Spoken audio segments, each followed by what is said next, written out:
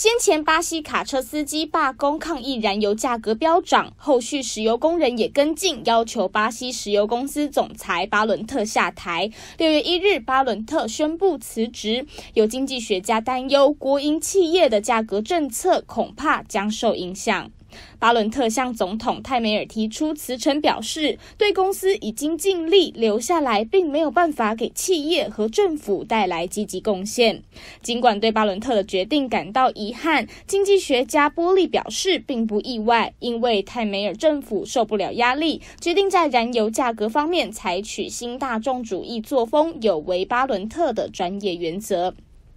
但有专家认为，巴西石油公司领导阶层的变化对公司信用不利。国际信评机构穆迪的资深分析师艾梅达表示，巴伦特的离开显示，巴西石油公司金融政策的改善趋势可能受到影响。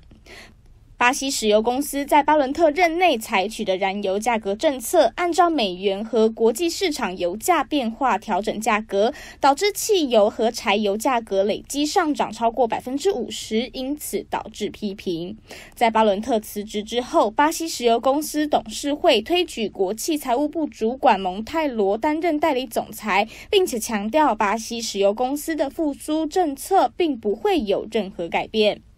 华尔街电视新闻记者罗千竹整理报道。